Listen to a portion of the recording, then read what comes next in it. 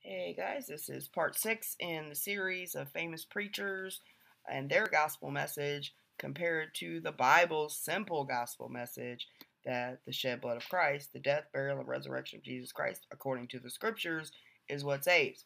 It is his shed blood paid for your sin. He restored what the first Adam, because he is the last Adam, messed up. So only he could do that. And so we have peace with God through our Lord Jesus Christ. That's the simple gospel. And it's, it's simply put in 1 Corinthians 15 1 through 4. All the other stuff, cleaning up your life, following Jesus, all that is discipleship and service. And it's something we should do as a reasonable service because of the mercies and grace of God. All right? Because of the fact that He did save us. Uh, but that has nothing to do with salvation. So, this is some excerpts from a book by Michael Bowen called I Never Knew You uh, in PDF form. I believe you can go online and just get it downloaded. I can send it to you if you can't find it.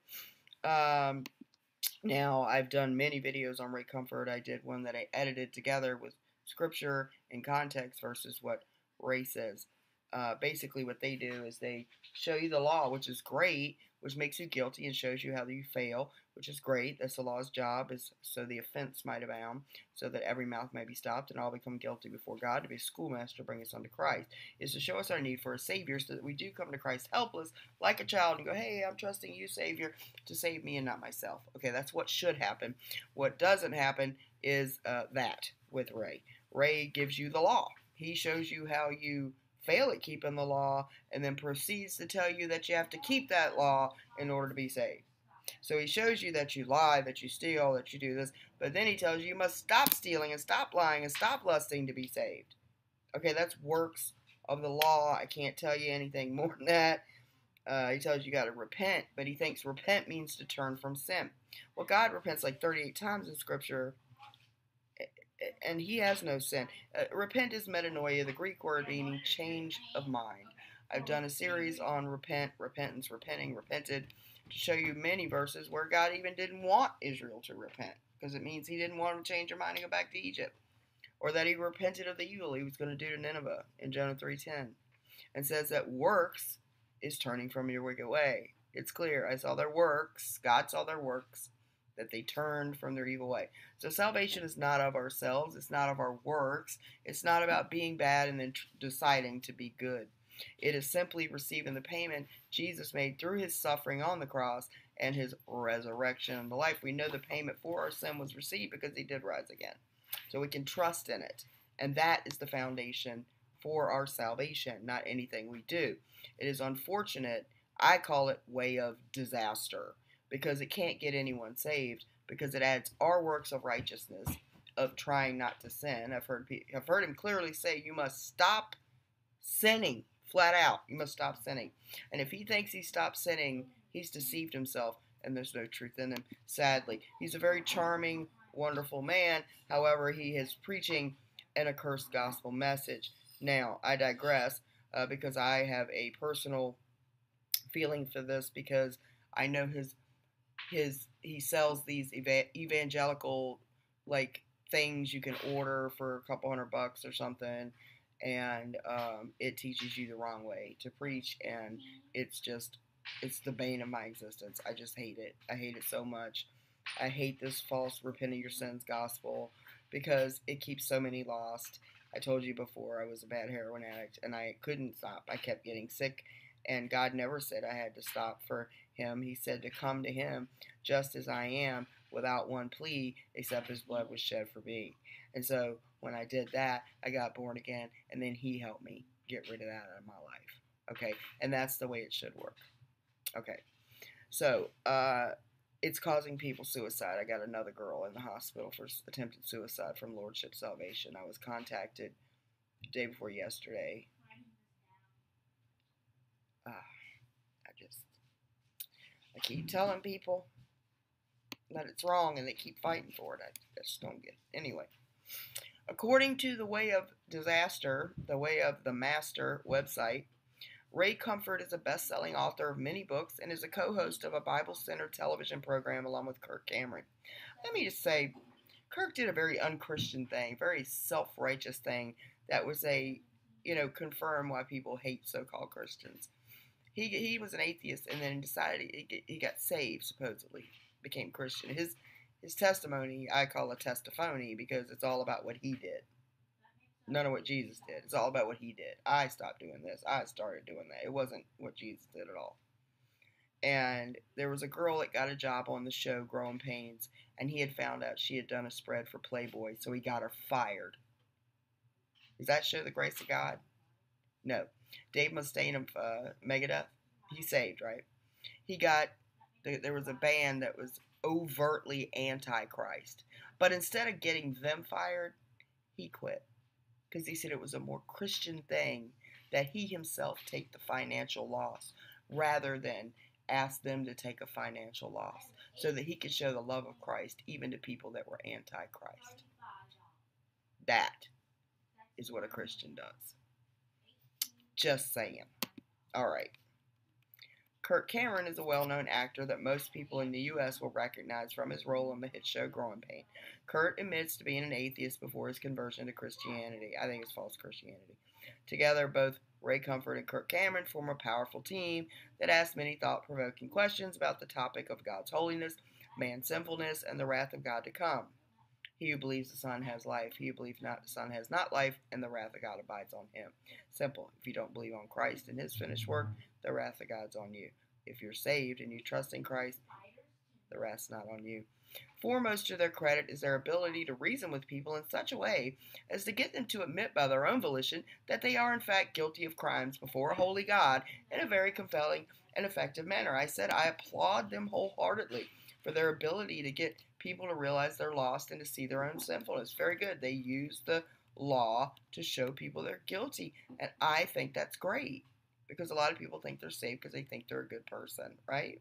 And they'll ask, "Are you a good person?" on their website, and you click on it, and then they it shows you how you're guilty. How you've even broken one of God's laws just once is enough to send you to hell, because God's standard is perfection. But in His mercy, He gave that perfection back to us. When Adam fell, we we died, right? We we had the death sentence. But Jesus, through his obedience, because of Adam's disobedience, we all get the death sentence.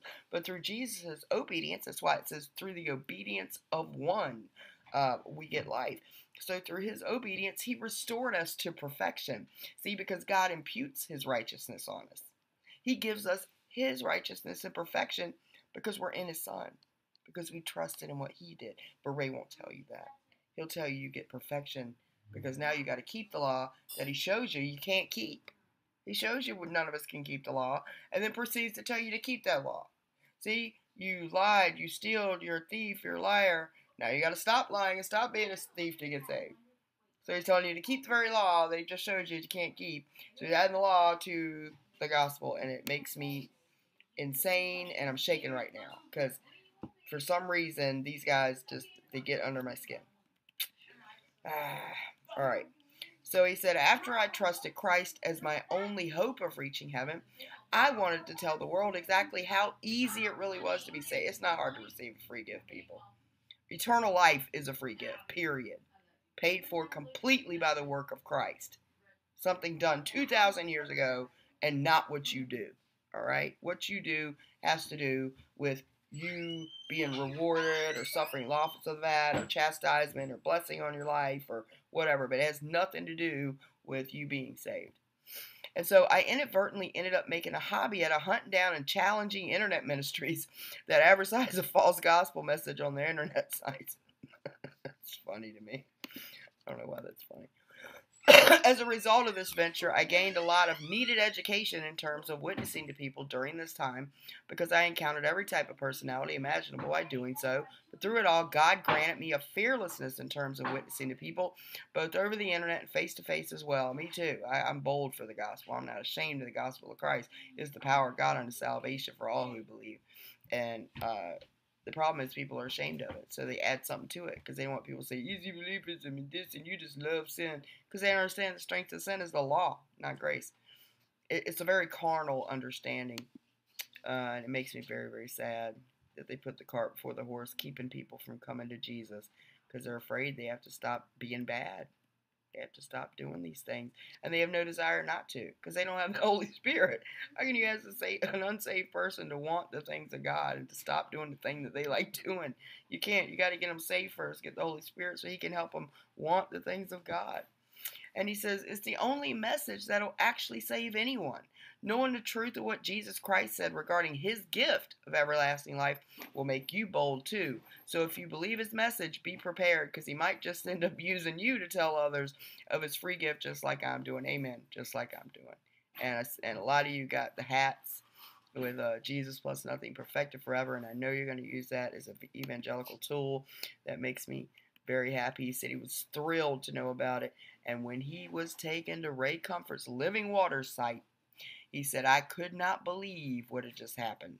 So I wrote my new friend, who is born again, this very same note you are about to read. Okay? He wrote, I need your prayers. I appreciate your statement of faith, too. But you have a link on your resource page. See, his friend had Ray Comfort's Living Waters link on his page, although he was born again. He had the right gospel. He didn't realize Ray Comfort had a false gospel message. And this is the letter that Michael Bowen wrote to his friend. He says, But you have a link on your research page that takes you to a man who promotes salvation by works. Hey, how can you allow their link on your site when everything they say is in direct conflict with what Jesus Christ said concerning about salvation? You must remove their link from your site, else you are in conjunction with a counterfeit gospel that cannot save anyone. You are giving home to blasphemy. You are giving aid and comfort to the enemy living waters. Salvation stance is directly opposite of Ephesians 2 8 9. Christ said in John 6 40 that the will of the Father is for everyone that recognizes the Son as the Messiah and believes on him alone will have everlasting life. In John 6 47, Christ said, Verily, verily, I say unto you, he that believeth on me has everlasting life. Notice there are no works here. Ray and Kirk are calling God the Father a liar with their false gospel. You must remove it. About a day later, my friend wrote me back in complete agreement. Why? Because the man had the Holy Spirit and he bore witness to that truth. He put up a page on his site that condemned the false plan of salvation according to Ray Comfort and Kirk Cameron. The plan of salvation, according to Ray Comfort and his cohort Kirk Cameron, defines repentance incorrectly in the most elemental sense possible. By the way, God gives repentance to the acknowledging of the truth. True repentance is to change your mind and believe the truth about what Christ did for you and that you are lost without his shed blood. Period. That is repentance, people.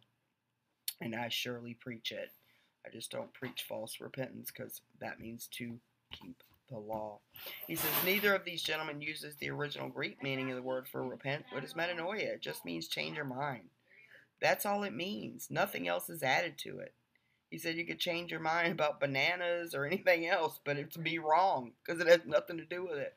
They claim salvation is faith plus works and deeds of the law under the clever guise of committing your life to Christ. See, it's the subtlety that beguiled Eve, people. It's works, but they won't call it works. They'll say it's grace or that believing actually means obedient faith, or faith means faithfulness and obedience. It's not what it means. Faith is the substance of things hoped for, the evidence of things not seen. To believe God means to be persuaded that what He promised He is able to perform. It tells us that in Scripture. We go by what the Bible says, not what man says. He was always referring to a change of mind in Scripture. It's crazy that this repenting your sins garbage has been infiltrating the true gospel. It's crazy to me. Oh, no sin. It, it can interrupt. And again, the wages of sin is not repentance from sin. The wages of sin is death. And that's what Christ paid to fix it. All right? And he says the reason he's, he's so upset about it is because this gospel message is almost identical to the Catholics who, who equate Mary as being equal to Jesus, or Jehovah's Witnesses that deny the deity of Christ, as other non believing apostate churches. And he says they're good people, supposedly according to man's you know ways, but they're false. And you know who loves John MacArthur? And by the way, uh, Ray Comfort supports John MacArthur's study Bible on his on his channel. They're all in the same group. The Mormons use it as their study guide. Did you know that? Mormons buy John MacArthur's Gospel of Doubt. it's called the Gospel of Jesus Christ, but uh, uh, Bob Wilkin wrote something called the Gospel of Doubt to refute word for word what John MacArthur had said, because he takes salvation and mixes discipleship, counting the cost. Again, in my other video, I said it can't be free and cost you something. That's confusion. It's free. Discipleship costs, salvation's free. I'm sick of it. It's a lie because he tells you you got to stop sinning in order to be saved. And the Bible does not tell us to be willing to stop sinning because it's not of him who willeth or of him that runneth, but of God who showeth mercy. That isn't a lie because God never said you have to stop sinning to be saved. The phrase repent of sin is not in the Bible. Some of these false Bibles put it in. But it's not in the King James, it's not in the original Textus Receptus anywhere. Nor is it even implied when it comes to salvation through faith in Christ. These are clever lies of Satan, designed to provide people with a heavenly way to go to the eternal lake of fire with him and his fallen angels.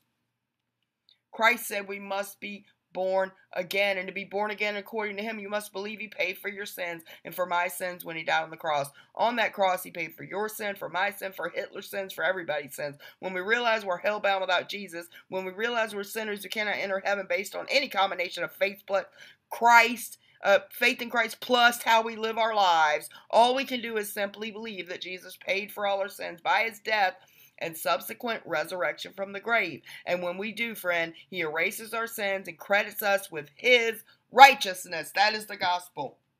You trust in what he did, his shed blood, his death, burial, and resurrection gives you eternal life, and he counts it to you for righteousness. He gives you imputed righteousness. These people are trying to establish their own righteousness. They've gone the way of Cain, bringing their works. This is Adam and Eve's fig leaf self righteousness. But God slew an animal and covered them. See, the blood even covered Adam and Eve. When you try to offer your works in Scripture, always the shedding of blood is the only thing. Without the shedding of blood, there is no remission. It drives me crazy. He says he erases our sins and credits us with his righteousness. That is salvation. It's easy, it's too easy, yet that's how the God the Father designed salvation to be. To not believe that his son is our Savior is to call God the Father a liar. That's exactly what 95% of today's pastors all over America are doing daily. That's why it took me two years to find a church that preached the true gospel.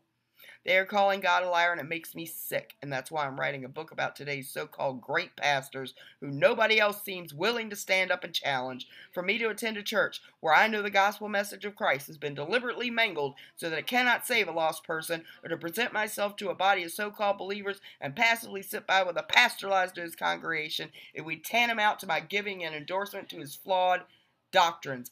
I cannot sit in any of these churches in my current hometown because none of them believe what God said about Jesus. He said it's better to stay at home. I don't blame it. It took me a long time too. It's crazy. And he talks about how you know counterfeit money uh, is easy to spot when you study the the real thing. All right, he said, look at what Jesus has to say for all those who placed only partial faith in him and the rest of their faith in living the Christian lifestyle. These people trusted in their many wonderful works. So let's look at it. Not everyone that saith unto me, Lord, Lord, shall enter into the kingdom of heaven. These lost people use this verse to try to accuse you and me as if it's about sinning. See, ye that work iniquity, there's your sin, as if they stop sinning. But let's really look at what this says. This is talking about false prophets. Okay, that's the context. And they're boasting about what they did for Jesus and they never did the will of the Father, and it tells you what the will of the Father is, is to believe on him. And this is the Father's will that sent me, that all who see the Son believe on him, I shall raise them up at the last day. They did not believe on him. They trusted in their works. I don't know how they see this verse and see anything different. Not everyone that saith unto me, Lord, Lord, shall enter into the kingdom of heaven, but he that doeth the will of my Father which is in heaven. That's to believe on him. Many will say to me in that day, Lord, Lord, have we not prophesied in name? That means preach and in thy name have cast out devils, and in thy name done many wonderful works. And then I will profess unto them, I never knew you. Not I knew you and I lost you, or I knew you but you messed up. I never knew you. Depart from me, ye that work iniquity. If you rely on your works, your works are iniquity, and your sin is still on your account. So, of course, you're a worker of iniquity. People cannot get that verse. Everything they do is iniquity because all our righteousnesses are as filthy rags. You cannot rely on your works. You must trust what Christ did. They have trusted, and it says, From there, all who have trusted in counterfeit forms of the gospel will be sent to the lake of fire. And it says, I saw a great white throne and him that sat on it, from whose face the heaven and earth fled away. And there was found, actually, is earth and heaven fled away. And there was no place found for them. And I saw the dead, small and great, stand before God. And books were opened. And another book was opened, which is the book of life. And the dead were judged out of those things which were written in the books, according to their works. And the sea gave up the dead which were in it, and death and hell delivered up the dead that were in them. And they were judged, every man according to their works. And death and hell were cast into the lake of fire. This is the second death. And whosoever was not found written in the book of life was cast into the lake of fire. It says, Who will you choose to believe, reader, when it comes to where you'll spend your eternal destiny? You choose the words of men like Ray Comfort, John MacArthur, or will you choose the words of Jesus Christ? This, of course, is up to you. People, I suggest you get in your Bible and you look at the plan of salvation. Now that you understand what the word repent means in context, you look and you see if you see any of those works they tell you to do. The sinner's prayer, asking Him into your heart, repenting from sin, stop your bad habits, start your good ones, any of those things. No, you'll see it's not of works. And if you add works to God's grace, you cancel His grace because then it's no longer grace. You're trying to earn it. You don't want to do that. It, it really makes me upset because so many come against me for preaching the true gospel of God's grace, the real plan of salvation, because I want people saved. And I already know once they're saved and the Holy Spirit's in them, they have insurance, they have a joy, they want to be in the Bible, they want to go after God, they want to grow in grace, they want to do these things. I see it all the time. But these people, they're carnal and they think it's, oh, you got a license to sin. Well, you still sin. You don't have a license. I got one. You know, what's your excuse? It's just ridiculous people do that. You know, because they don't get it. They don't get it. It's the goodness of God that leads men to repentance. So sad. So sad. And every one of these pastors I'm doing these videos on, they all corrupt the gospel. It is all another gospel which stands with a double curse from St. Paul. God bless you guys. Please, please choose who you're going to believe. The Bible way to heaven or these men because they sound good. God bless.